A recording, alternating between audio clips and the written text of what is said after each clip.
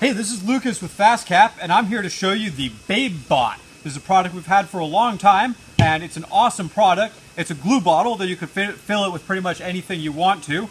And the glue bottle is a bottom feeder. It has a really nice wide base, so it won't fall over on you, stays upright easily.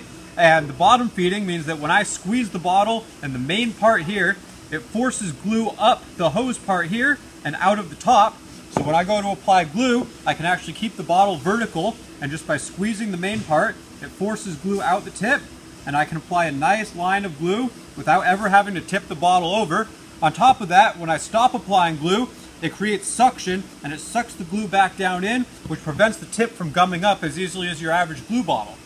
Now, every BabeBot we've sold in the past, it comes with a BabeBot blade. That's this nice wide tip for applying nice wide lines of glue.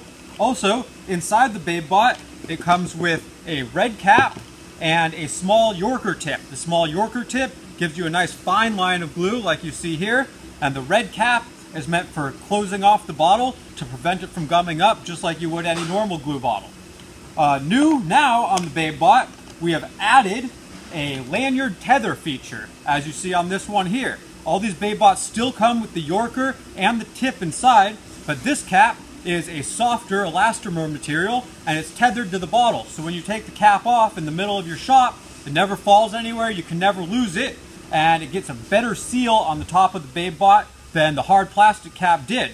On top of that, it's sized so that it sticks on your cap here, so when you go to refill your BabeBot, you can stick it on there, take the cap off, and your cap will never get lost while you're refilling the bottle. All these features are now available in the larger version, the GluBot as well, and we hope you enjoy these products.